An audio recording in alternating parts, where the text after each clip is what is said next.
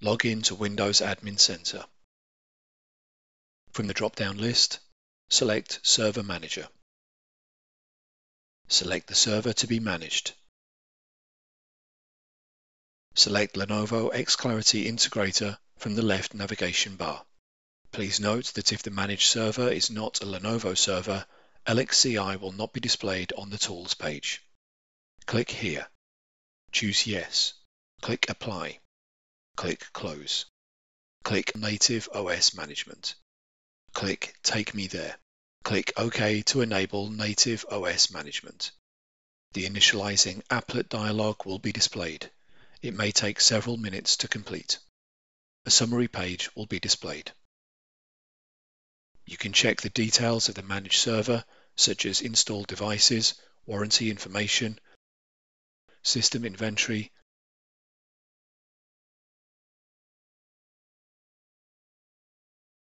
alerts, and logs. You can also monitor the system power consumption and temperature, manage FOD keys, and collect service data before contacting support.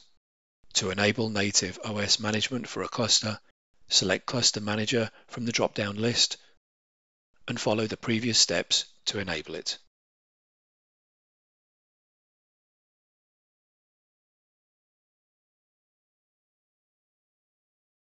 You can check the servers connected to the cluster in the Servers tab,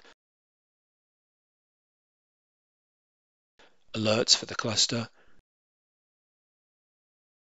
the firmware inconsistency report, hardware monitoring for the fans and power supplies.